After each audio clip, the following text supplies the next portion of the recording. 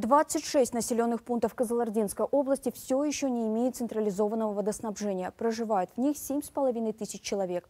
Для решения проблемы разрабатывают специальную дорожную карту. Специалисты составили проектно-сметную документацию для строительства водопровода в селах Ахбасте, Абай, Тохабай, Шили, Шакен и Сорбулак.